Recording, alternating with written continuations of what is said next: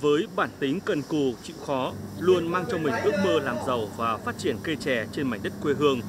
Những năm qua, bà Lý Thị Hương đã gắn bó với nghề chè, nỗ lực xây dựng hợp tác xã chè Hương Huệ ngày một lớn mạnh, góp phần giải quyết việc làm, nâng cao thu nhập từ nghề chè cho người dân địa phương.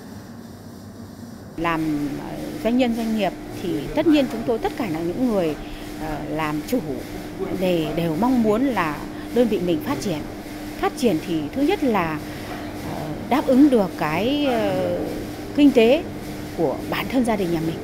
Sau đến là mình có cơ hội để đóng góp với cộng đồng. Thế thì mong muốn của chúng tôi là mỗi ngày một phát triển và phát triển bền vững. Với quan niệm người phụ nữ không chỉ giữ lửa ấm cho gia đình mà còn có thể thắp lửa các hoạt động sản xuất kinh doanh. Nhiều năm qua, với sự động viên chia sẻ của gia đình và các chị em trong câu lạc bộ nữ doanh nhân thành phố Thái Nguyên, nữ doanh nhân Lê Thị Hà luôn nỗ lực và đạt nhiều thành công.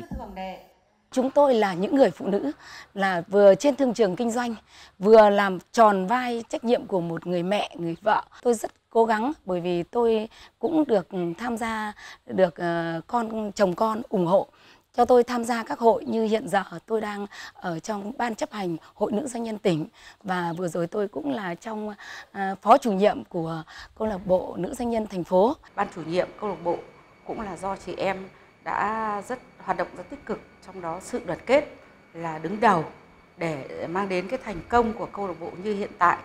Sau đó là cái định hướng, định hướng của chị em và cái hoạt động của chị em chung tay và cùng xây dựng cái mô hình ờ, các cái ờ, quy mô hoạt động của câu lạc bộ.